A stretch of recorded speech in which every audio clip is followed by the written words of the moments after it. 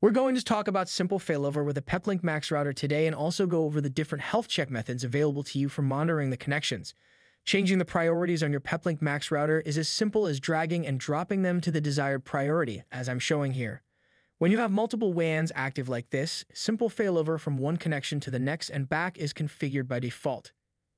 If needed, the way in which the router monitors the health of your WAN connections can be adjusted.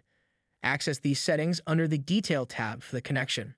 We'll start with a wired WAN. The health check method field specifies the method to be used for this WAN connection. By default, wired WAN connections use DNS lookup.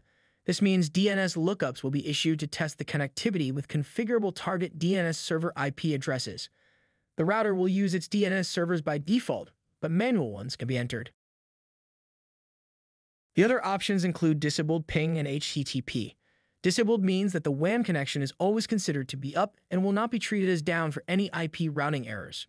If we select ping, a method we prefer as an alternative to DNS, then ICMP ping packets will be issued to test connectivity with configurable target IP addresses or host names.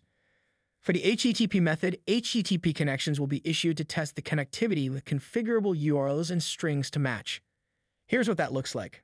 The other settings here, the health check control how quickly the connection must respond to be treated up or down, as well as how many checks, check retries, and recovery retries are required to drop or reestablish a connection.